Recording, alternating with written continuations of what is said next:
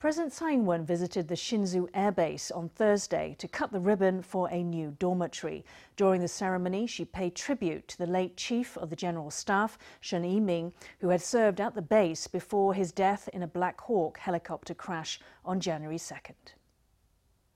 On tour at the Hsinchu Air Base, President Tsai cut the ribbon for a newly built dorm and inspected the camp.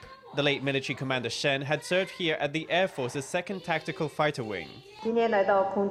I have come to the Hsinchu Air Base today in the spirit of Chief of the General Staff Shen Yi-ming to host the inauguration ceremony for this barracks construction project in the Hsing-an case. Although Chief of the General Staff Shen is unable to be with us today, his spirit will always be present at the Hsinchu base. Joining Tsai on her visit were Defense Minister Yen Teh-fa and Navy Admiral Liu Chih-pin. Tsai pledged to make the military a source of pride for Taiwanese.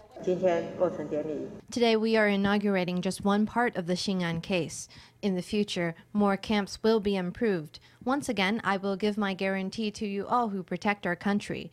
As the Commander in Chief of the Armed Forces, I will do my utmost to make our countrymen feel proud of their military. In 2017, Tsai initiated 48 projects under the so called Hsing-an case. Since then, construction has been underway to improve living conditions at military bases around Taiwan.